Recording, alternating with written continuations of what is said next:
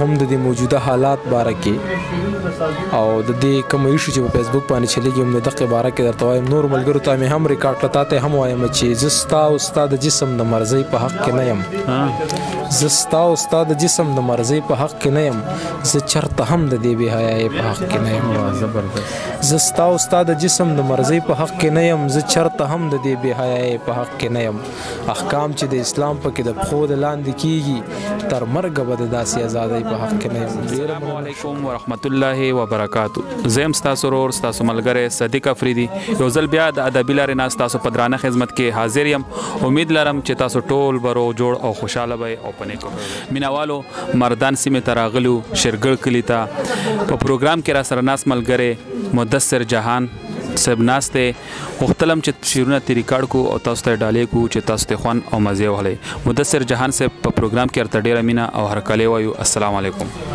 وعلیکم سلام ډیر زیاته مننه کوم تاسو دې ستړي تاسو دې احساس تاسو دې منډو ترلو ډیر زیاته مننه کوم چې په دې مصروف وخت کې هم تاسو پښتو لا او د پښتو ژبې لا وخت ورکوي او ګرځي او شاعرانو نشرونه ریکارډ کوي نو ډیر زیاته مننه شکریا ډیر مننه مدثر جهان صاحب بس په تازه تازه کې راسره شعرونه شریک کړئ زمونږ مینوالو دپاره ښه بالکل د غزل بنډار دی او د غزل غوښتنه ده نو غزل به درته وایم شعرونه به درته وایم ځکه چې ستاسو غوښتنه ده او ستاسو مینه ده چې دومره لرې نه راغلي نو دغه څو شعرونه درته وایم چې خلی لمه ناراضي خندا خپه ده خلی لمه ناراضي خندا خپه ده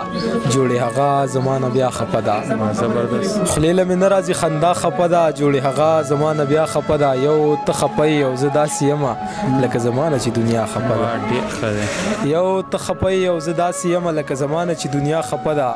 ژوند کدا سی الله دې خیر کې ژوند بیخی می درته سا خپه ده دلته انسان بلانه نه دی خپه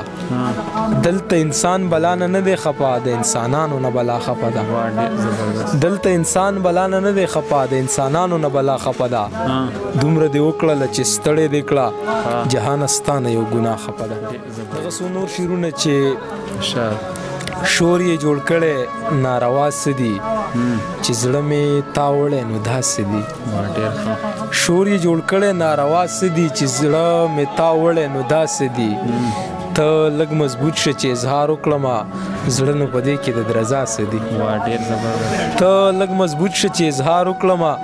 زړه نو په دې کې د درزا څه دي